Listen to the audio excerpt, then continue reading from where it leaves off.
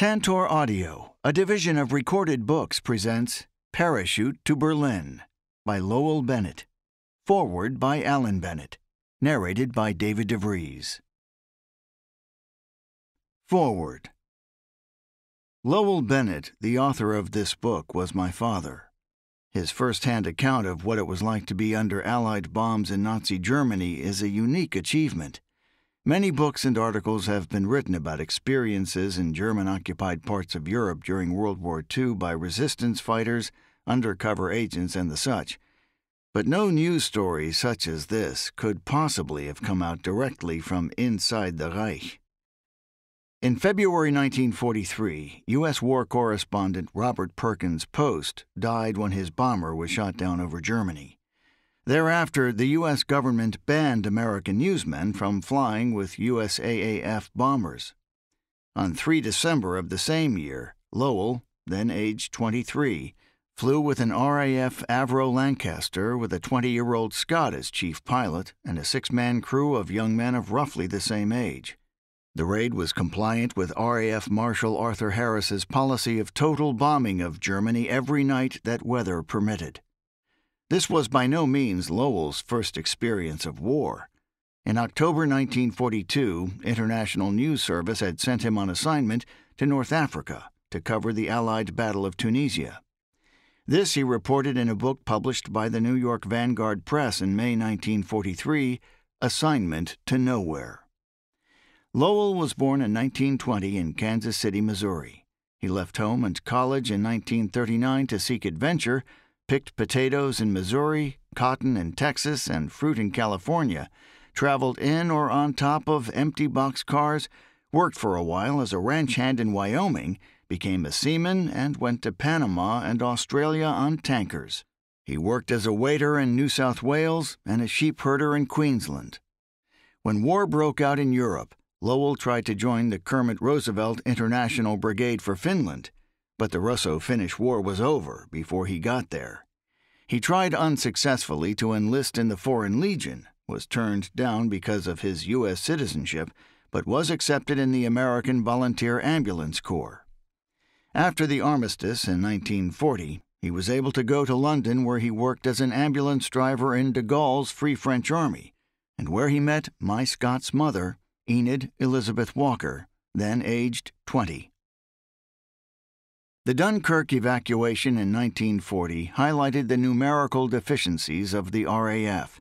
When the Luftwaffe bombed Rotterdam in May, the RAF began daylight raids against Nazi Germany, which retaliated in July with bombing various British towns, then escalated to the Blitz terror bombing on major UK cities in September. Over a period of nine months, known as the Battle of Britain, an estimated 23,000 British civilians died, including 1,200 civilians in Coventry, and 32,000 were wounded by German bombs. At the start of the RAF war against Germany, Bomber Command pilots were specifically instructed to avoid attacking civilian targets. Daylight bombing proved such a high risk to flying personnel, it was abandoned in favor of night raids. This resulted in a much higher ratio of civilian deaths and injuries, euphemistically known today as collateral casualties. Over the next three years, Britain's air fleet made huge technological gains, enabling the Avro Lancaster bombers to fly over greater distances, carrying up to five tons of bombs on each plane. During the war, the RAF would drop close to a million tons of bombs over Germany. The USAAF, which actively engaged in 1942, dropped a further 623,000 tons. Over the duration of the war, the RAF lost 57,000 aircrew killed in combat. Most were young men with university degrees, as required for the highly sophisticated technical skills required for flying the planes. According to the West German government in October 1956, there were 635,000 civilian deaths during the air war in Germany and the annexed territories, 500,000 killed by strategic bombing, and 135,000 from air raids in the 1945 flight and evacuations on the Eastern Front. Allied air raids over France killed 60,000 civilians, including an attack with incendiary bombs by 347 RAF bombers on the French coastal city of Royan on January 4 and 5, 1945, that killed over 400 civilians and 47 Germans, with no destruction of military facilities. In February 1942, RAF Marshal Sir Arthur Harris was appointed Commander in Chief of Bomber Command. Known at the time as Bomber Harris, he favored the controversial policy of area bombing over precision targeting, which resulted in a far higher number of civilian casualties, precisely what my father denounces in his book.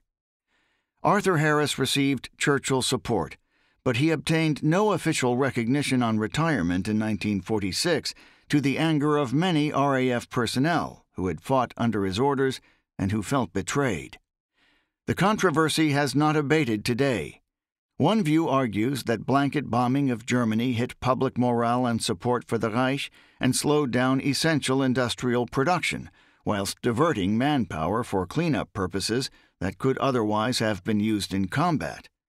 Another opinion is that the Allied strategic bombing helped maintain pressure on the Reich in the west with the powerful Soviet resistance in the east. This view is supported by the statement by Albert Speer, Hitler's Minister of Armaments and War Production, that Allied bombs had caused severe damage to the German economy.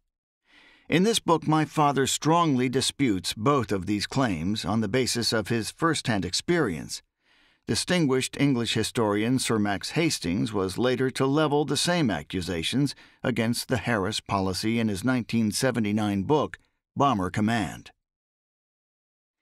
Lowell's disappearance on 3 December 1943 was widely reported in the U.S. press, including the New York Times, the Washington Post, Stars and Stripes, the American Legion magazine, the Milwaukee Sentinel, the New York Daily Mirror, the New York Herald Tribune, and unexpectedly, the Bombay Chronicle. He had gained a degree of peer recognition with his account of the Tunisian campaign and his romantic courtship of my young Scots mother, and her unshakable faith in his return had touched the heart of the public, as did the announcement that he was still alive and had managed to sneak out a preliminary report to U.S. news media. Likewise, the news of Lowell's return to the U.S. to join the family, including his second born David, was reported in the American news media. When Lowell flew to Berlin, I was two, and brother David as yet unborn. The 1945 publication of Parachute to Berlin by Vanguard Press in New York was largely well received by media reviewers such as Foreign Affairs and the Infantry Journal who praised the vividness of his narrative and his critical scrutiny of official policies of strategic bombing. Two important individuals in the book, Ian Bolton, the captain of the Lancaster bomber, and the German officer Josef Borner, a pseudonym used by my father to protect his identity, who took Lowell on the German tour, kept in touch with my father after the war. Ian Bolton's daughter Fiona tells me her father suffered from PTSD as did so many of the young men who were fortunate enough to come back alive after those terrible years. The three men remained friends until the end of their lives. After the war, Lowell covered the Nuremberg trials as a journalist, then joined the U.S. State Department as a Foreign Service officer. He served as a diplomat in seven posts, including Germany, France, the United States, Iran, Pakistan, India, and Switzerland. In 1951, he wrote Berlin Bastion, a first hand account of the Soviet blockade of Berlin in 1948 49, when Soviet forces blockaded rail, road, and water access to Allied controlled areas of Berlin. The Western Allies responded with a massive airlift to come to West Berlin's aid. He died in 1997 in his country home in France, where he had chosen to live the rest of his life after retirement in 1973. Alan Bennett, August 2022. Chapter 1 Assignment over Germany. It began in much the same way as had any other wartime assignment. This time it was to be a ride in a British bomber to watch Berlin burn during one of the big night attacks. In the mechanics of arranging the trip, there was little to differentiate it from any one of a score of other similar stories. But this time there was one important personal difference a strong, persistent premonition that it would be a one way trip. Giant night attacks against the German capital had been in progress almost nightly for the past fortnight. Air Chief Marshal Sir Arthur Harris, the RAF's bomber commander, planned to eradicate and obliterate the city as completely as his bombers had already destroyed Hamburg, Germany's first port. Already, apart from earlier, lighter raids during the first three years of the war, some 10,000 tons of explosive and incendiary hell had avalanched down on Berlin. Intelligence and neutral press reports agreed that the devastation was widespread, as much as a quarter of the city was gone. This would not be the last raid on the city.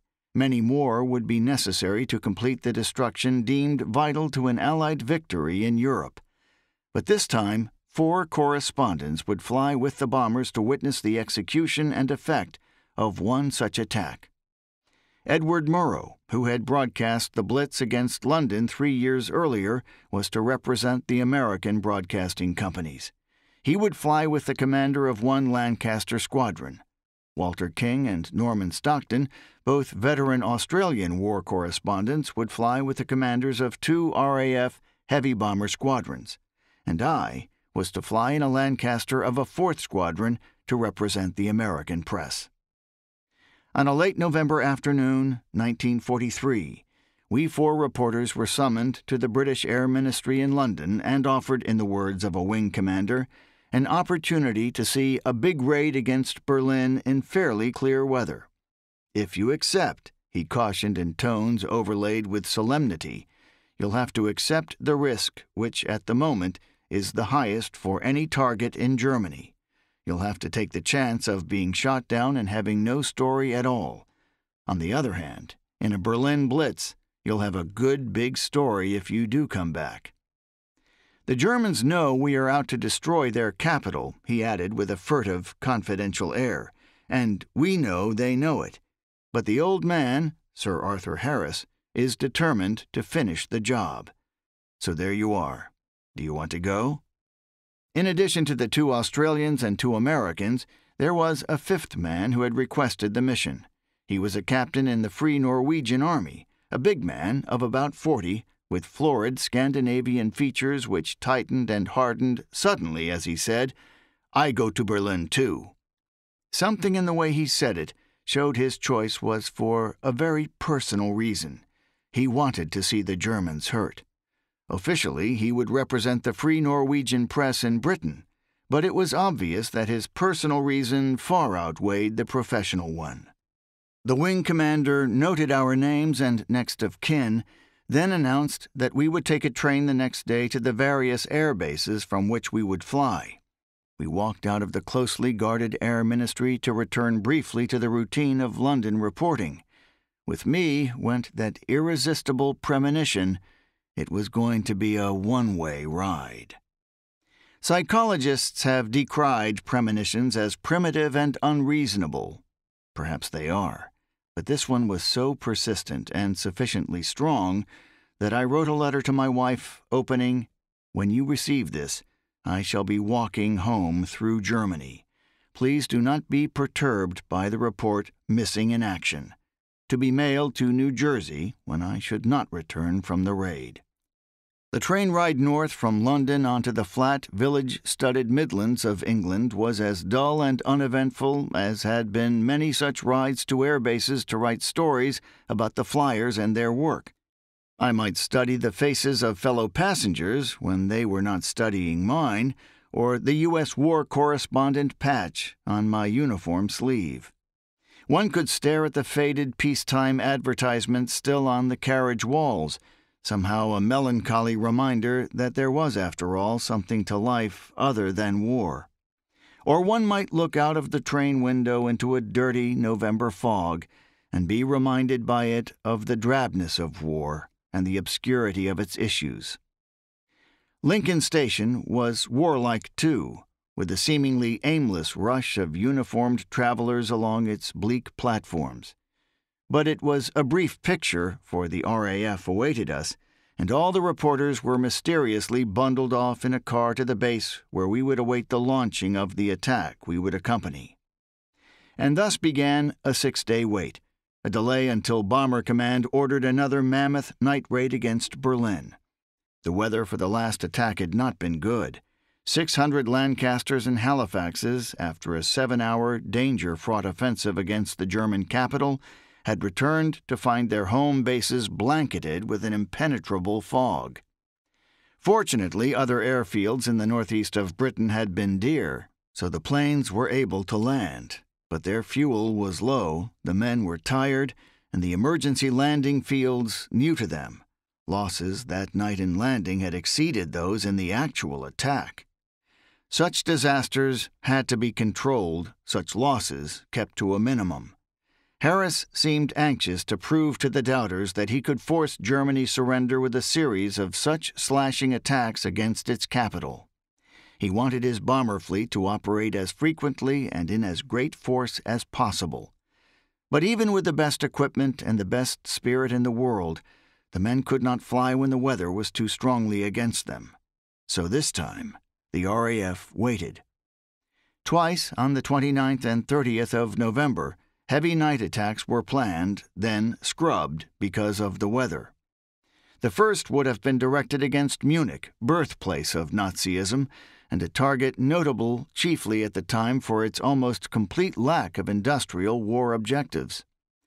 At the briefing for that raid, it was obvious that the city was being attacked almost exclusively for morale purposes and since the aim of night bombing was as much to demoralize populations as to hamper industrial production, the fact that the target was a sizable city and a stronghold of the Nazi Party was considered justification for the attack.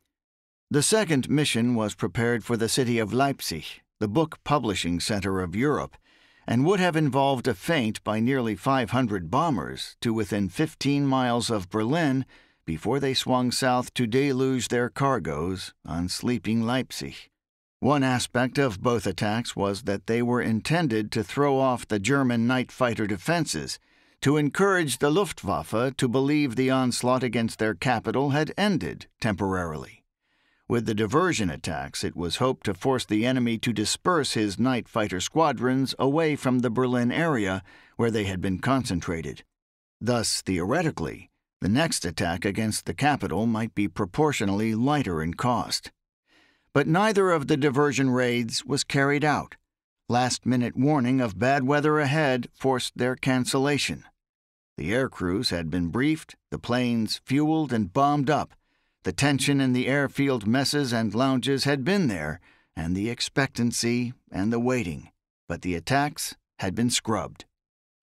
The RAF, like its brother force, the 8th American Air Force in Britain, had, over a period of long months of battle and losses, developed a philosophy, perhaps unique to fighting men whose life expectancy is reckoned not in years, but in weeks. The constant turnover of new crews to replace battle casualties, the ever present uncertainty, the youthful fatalism, these brought on a cordiality and a comradeship one might ascribe to condemned men living together and accepting a close intimacy before their ultimate and collective end.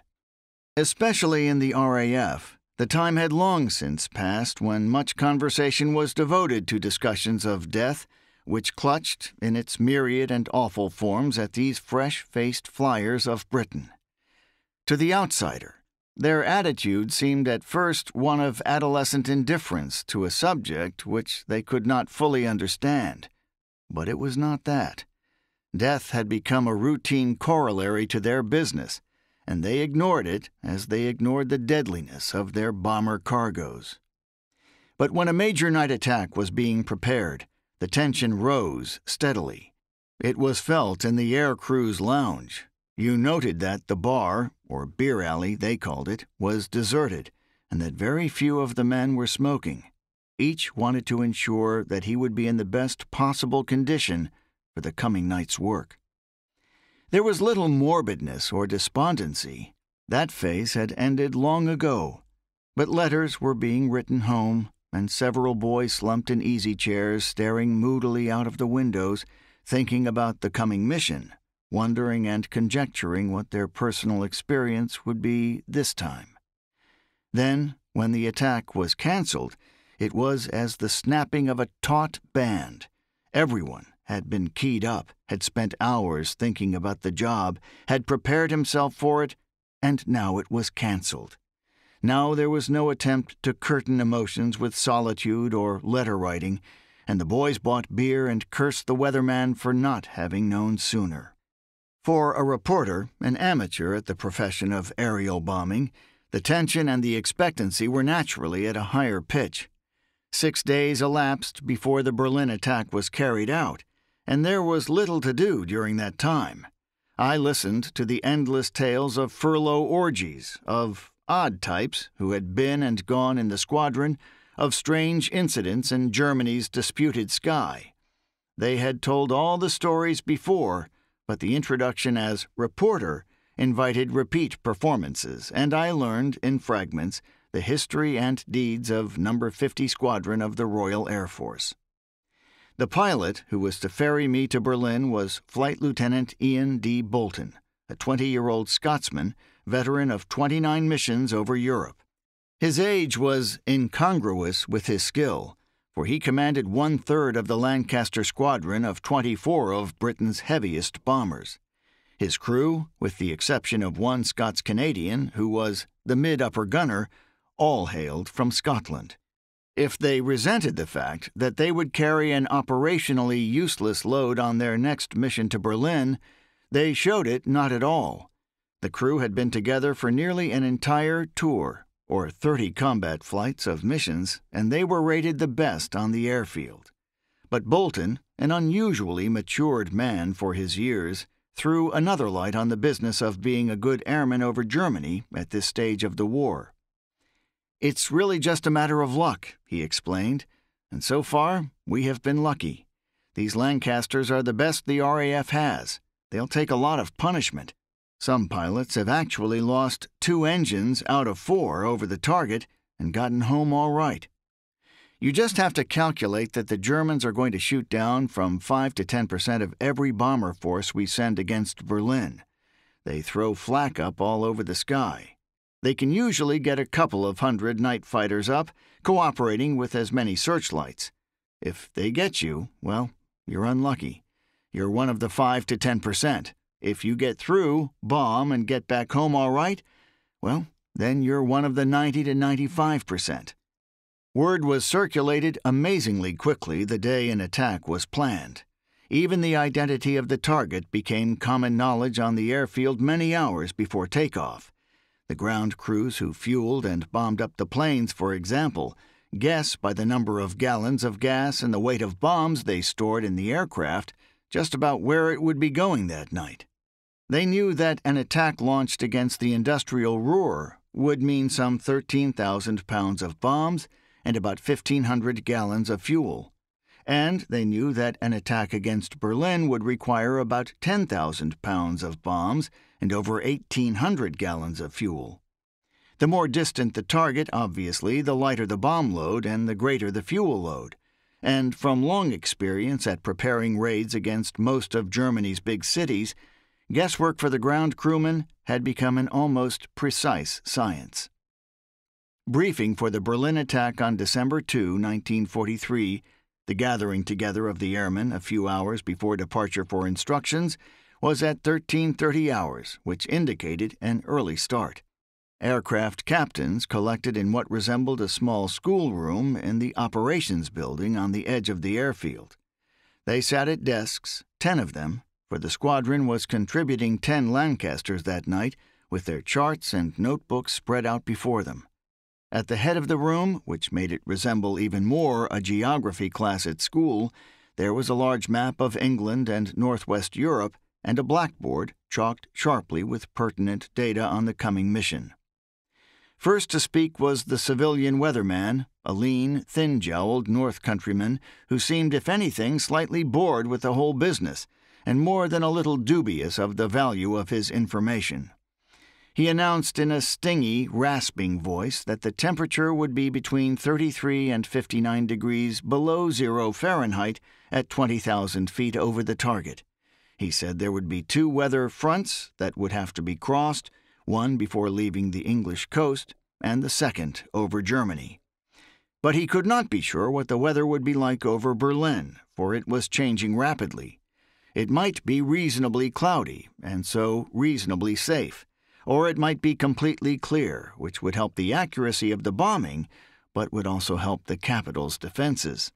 We should have to take pot luck with the weather, he concluded, scooping up his share of the charts and leaving the room. Next to speak was the squadron commander, Robert McFarlane, a 29 year old Scot and veteran of more than 60 raids against Germany. His job was to detail the raid's mechanics. 661 aircraft would participate, all four engined Lancasters and Halifaxes, plus a number of Mosquitoes in the Pathfinder force, which led the attack and dropped target indicators for the oncoming armada. Another small force of Mosquitoes would launch a spoof attack southeast of Berlin to draw off some of the defenses. Total bomb load would be nearly 2,500 tons, the heaviest raid of the war against Berlin. McFarlane, with the clarity and precision of a good business executive, emphasized that the attack would be against new areas of the German capital, areas so far almost untouched by air bombardment. He warned that the Germans were known to be concentrating their night fighters and mobile anti aircraft weapons around Berlin, and that it would be no easy job to fight through, bomb, and fight back home again. The route, as he traced it, led out over the North Sea, crossing the European coast over Holland, and thence swinging directly toward Berlin along an often used route via Hanover. After bombing, the route home led northeast, north, then a straight line back to the base. This is the most important target of the war, chaps, he concluded. Go in there and bomb hell out of them. Make everything count, then bring yourselves and your planes home again safely. Keep your eyes open for fighters. Watch for those flares. They drop to light up your route. Good luck to you all. Then followed the mass briefing, the captain of each plane sitting at a table with his crew of six aides explaining in detail to them what he had learned at the master briefing. Each crewman had his special interest the navigator, the route, the bomb aimer, the color and type of target indicator, the gunners listened closely to the information about night fighter defenses. At 1500 hours came the special pre mission meal, including those wartime rarities for England a real egg, accompanied by real bacon and fresh milk. Although RAF flying personnel normally did not fare much better than their families in civilian life, before each mission they were provided with a special meal which, in a small way, compensated for the forthcoming tension and danger of the trip. To this reporter, most of whose meals had been of the civilian variety in London, the egg was a real treat. But with the meal and thoughts of the mission to come came a return of the hunch. It was going to be a one way trip. So I ate hastily and returned to the lounge to type a story for the next morning's newspapers this is being written in case I don't return to make a more complete report of tonight's RAF attack against Berlin. It is based on information obtained at our pre flight briefing. We were to fly in the third wave to bomb the target at 2010 hours. Two waves of Halifaxes were to bomb before us, and two waves of Lancasters were to follow. The entire attack was intended to be packed into 12 minutes the most concentrated heavy scale air raid of the entire war. Each wave, including over 100 bombers, was allotted exactly four minutes in which to complete the bombing and get clear of the target, and it was up to the pilot and navigator of each individual bomber to ensure that the bombing schedule was met. A few minutes after 1530 hours, trucks picked up the air crews and took them to the dispersal areas where the giant black Avro Lancasters were parked. Around each plane bustled a three or four man ground crew making final inspections. We stopped by the operations office where parachutes were procured, the kind that snapped onto two hooks on a chest harness. An inflatable life preserver, Mae West to the Air Force because of its breastwork, was added. Next, each flyer was issued an escape kit, a small waterproof parcel containing European currency, emergency concentrated food tablets, maps, compass, steel file, and other items possibly useful in the event of a forced landing inside Europe. I also carried an American Army musette bag, in which were a carton of cigarettes, a notebook and pencils, a hundred rounds of 45 caliber ammunition for the gun I had in a shoulder holster, heavy winter underwear, and toilet articles. The premonition that I would not fly back from Berlin had been strong enough that I wanted to ensure I had supplies to help ease the anticipated walk home. Admittedly, the armament contravened unwritten international rules controlling Allied war correspondence, for we were not authorized to carry arms. But our German counterpart was considered by his government to be first a combatant and only second a reporter. So I felt some justification and, most important, was determined to try at least to get back home with the story. Loaded down with parachute, life belt, musette bag, and heavy wool lined trench coat, I struggled back out to the truck. An RAF ground crew officer stopped me. You'll probably be cold wearing those light shoes. Why not borrow my flying boots? he suggested. The idea was a good one. The flying boots seemed warm and comfortable, and the stories of frost-bitten airmen, coupled with a weatherman's prediction of a 40 below zero temperature, made the offer easily acceptable. Just one thing, though, he added as I pulled on the footwear.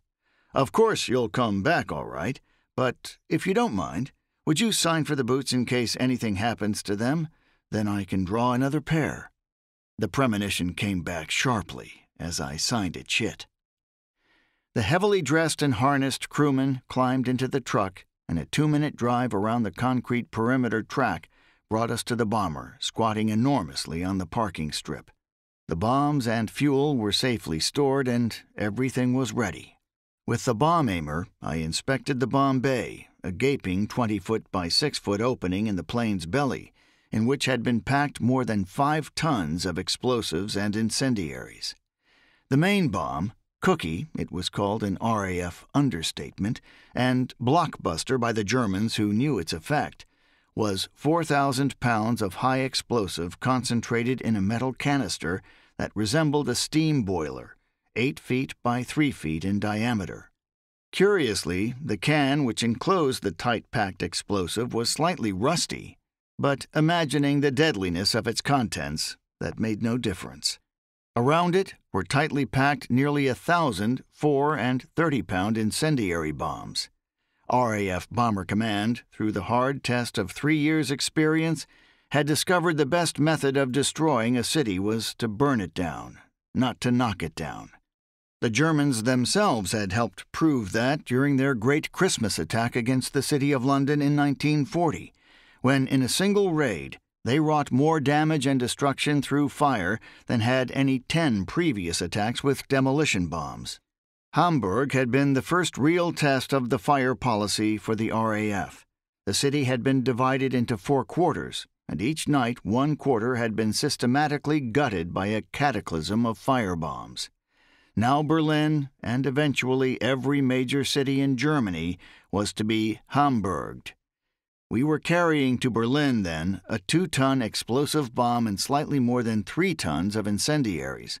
The bomb aimer, a 19 year old, rosy cheeked, enthusiastic youngster, explained that the bombs were all released by a master switch which he operated in the forward compartment. They don't all go down at once, he said. There is a timing device, an intervalometer, which releases them in the correct order. The cookie goes down first to blow the roofs off, then the incendiaries go down to burn up the houses. Or the incendiaries go down first to start the fires, then the cookie goes down to spread them about. We followed one another into the bomber, climbing up a short ladder and entering a hatchway in the side. The gunners crawled to their turrets, one in the plane's tail turret, where he operated four 30 machine guns, and the other into an elevated turret above the plane's center, where he handled two 30 machine guns. The radio man squeezed into his narrow compartment. The bomb aimer edged forward and down into the plane's nose. The pilot lifted himself into his seat, and the engineer went to work immediately on the formidable array of instruments and machinery which mazed the bomber's inside. Bolton, the pilot, ranked as captain. The others were all flight sergeants. One gunner was aged 22, and he was the oldest of the crew. This team of seven airmen, every one of whom might still have been in school had there been no war, was preparing to ferry more than five tons of destruction to the capital of Nazi Germany. They were to fly a bomber which had cost hundreds of thousands of dollars and weeks of highly skilled labor to construct. In their youthful hands had been placed an instrument of death unimaginable in its capacity a few years previous. For 20 minutes before takeoff, the four engines were warmed, each idling with a full toned, reassuring rumble. The reaction of each instrument was tested. Then the bomb bay doors were closed as the pilot threw a switch beside his seat, and we were ready to go. At exactly 1630 hours, the ground brakes were released, the clocks jerked away by the ground mechanics. We moved slowly out from the parking strip onto the perimeter track, which led to the main runway. Along the track, from half hidden dispersal areas all over the airfield, other Lancasters trundled slowly out in single file toward the end of the broad runway. Takeoff is always the worst moment for the pilot, Bolton had explained. You think of all those bombs crammed in the belly and what an awful mess it would make if you crashed or turned over instead of lifting off the runway. It's something of a worry. Once you're in the air, you feel much safer. Our bomber was eighth in line. Seven Lancasters wheeled into position, their engines opened to full throttle, and began rolling down the long concrete strip, increasing speed until almost imperceptibly they were off the runway and flying. Finally, it was our turn. At the side of the strip stood some fifty ground crewmen who watched and waved to us. With them was the squadron commander, the airfield commander, and Air Vice Marshal Cochrane, who commanded an entire section of the RAF bomber force. They waved and made the V sign. Then came the signal from the control tower, and Bolton throttled the engines to a higher pitched roar released the brakes, and the plane began to roll forward. Slowly at first, then gathering speed, faster, faster, faster, the ground flooding past on each side at nearly a hundred miles an hour. Suddenly, a slight lift, then a bump as we settled back, then another lift. We were airborne, rushing from the earth like some broad winged bird up toward a dying winter sun.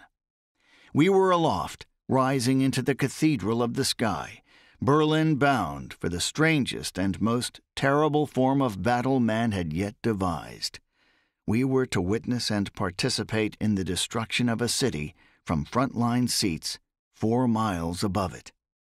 I watched the ground recede for a moment as we climbed, then twisted around and looked back down on the airfield. Take a good look. You won't be back for many months. I recall thinking to myself, the premonition was still there, annoying and impertinent, but there as a subtle, mocking reminder. Chapter 2 Parachute to Berlin The Midlands of England, jigsawed with farms and occasional villages whose chimneys vented swirling jets of dark smoke, spread out before us as we wheeled and climbed for altitude. Roads and streams wandered ribbon like across the flat chested earth below. Above was the darkening void of the unknown. Below, the familiar, friendly bosom of man's home before he sprouted metal wings to lift him into that unknown. Everywhere around us were Lancasters, huge black birds, majestic and heavy laden, climbing steadily. The hand on our altimeter indicated 500 feet, 1,000 feet, then recorded a gradual increase as we gained height during the next half hour. As we climbed, our horizon lowered and a red sun seemed to rise with us. Twilight dimmed and shadowed the earth below. Hundreds of bombers were rising about us, But we could now see only a few, for a crepuscular haze and a cloud brushed winter sky decreased visibility quickly. The engines chanted a solemn, steady quartet of harnessed mechanical might, two bulky cowlings protruding from each sleek wing. The crew members settled to their work. England stretched out beneath us, a soft toned panorama of nature quilted with the changes wrought by men. Shadowy miniature villages huddled together, thin dark lines of railroads and highways streaked across the earth, cement splashed patches that were airfields, roost of the Armada, rising about us.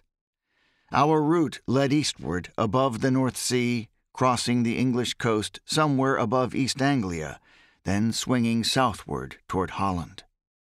A sharp lookout had to be maintained for the scores of planes above, below, and on all sides of us. Although we could see aircraft only when they were within two or three hundred feet of us, for it was now quite dark and clouds were thickening into banks of rain bloated fog, we knew there were over 600 bombers converging into one mighty stream, all aimed the same way and all at about the same altitude. We reached 20,000 feet altitude before crossing the continental coast.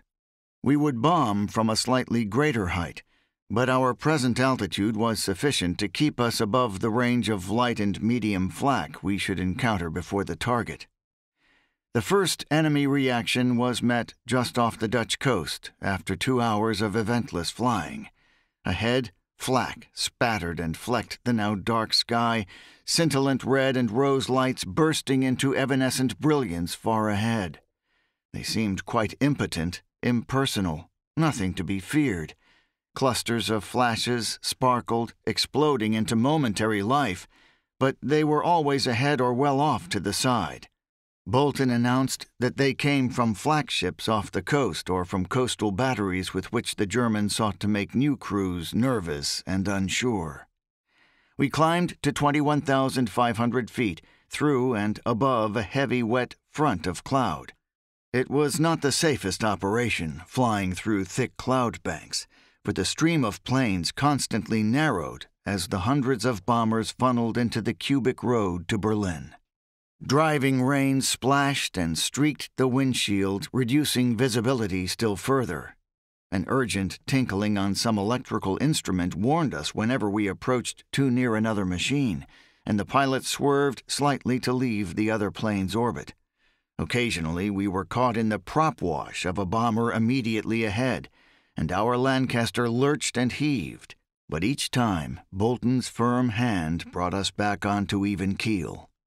Our airspeed remained constant at about 160 miles per hour, nearly 230 miles per hour ground speed, considering a tailwind and instrument correction, and the navigator called brief alterations in direction every few minutes over the intercommunication system.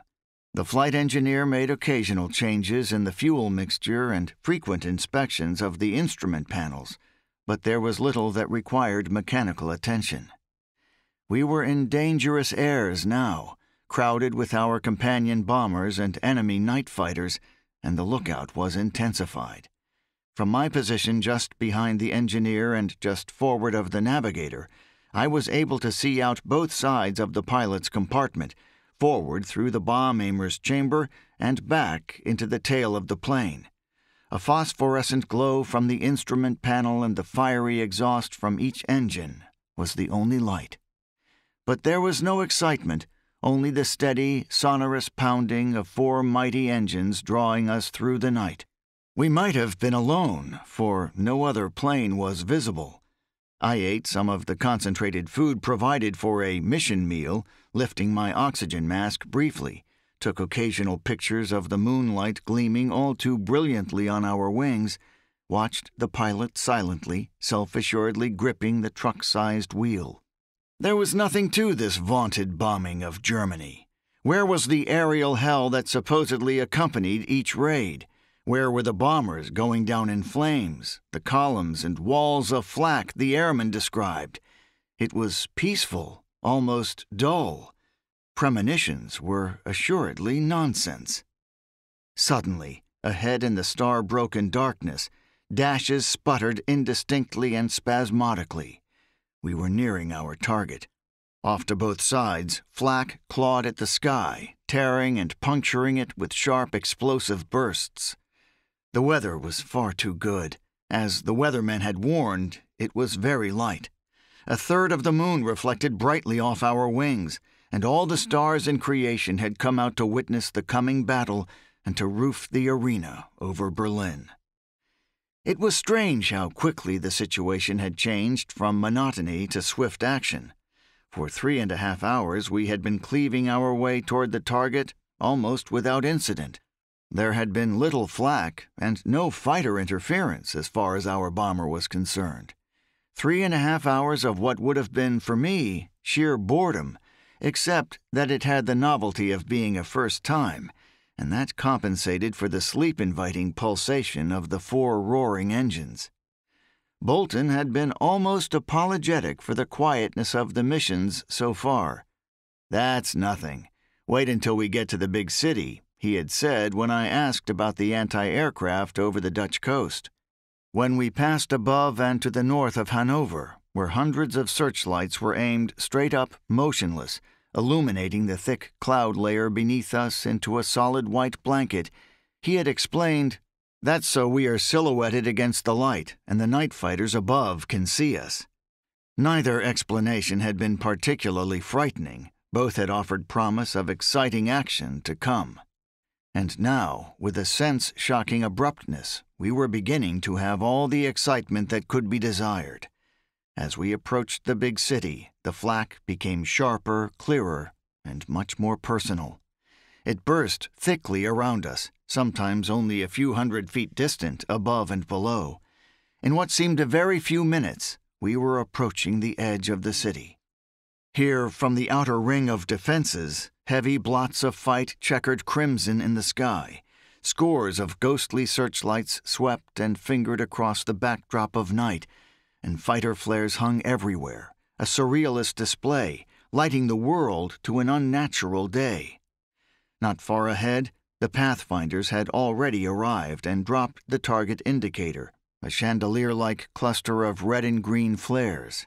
Beneath and all around it, chains of dull red tracer, 88 millimeter flak, climbed and arched upward as the Germans sought to shoot down our aerial target. That was our bombing target. Bombs aimed at it would tumble down in a terrible avalanche on a residential section of southeast Berlin, and it hung, beacon like, centered in an inferno of flashing flames and explosions. Each moment brought us nearer it, and each moment the tension increased. The flak engulfed our horizon, competing, it seemed, with the stars above in number, and with a gargantuan Fourth of July celebration and technicolored brilliance. Explosions from light guns flecked and ruptured the sky below us. Heavier bursts rent the air around us. But there was no noise above the steady, vibrant pounding of the engines. Somehow it was reminiscent of the silent film, when the wildest action might have been in progress, but there was no accompanying noise.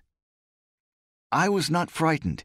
I was far too impressed for any other emotion to register. The display ahead and now behind and on both sides, for we were coming in over the city, was spectacular, without comparison with any previous experience. 800 flak guns and over 200 searchlights were concentrated in the Berlin area, we had been told at the briefing. But here it seemed as if every weapon in creation had joined in that awesome and fantastic jubilee of light and color. Ahead, it seemed now almost a solid wall of explosions, and the target indicator, dropping slowly, was framed by a curtain of hundreds of flashing explosions. Below, fires had already been started, blood red patches splashing and heaving in a Dantean hell on earth.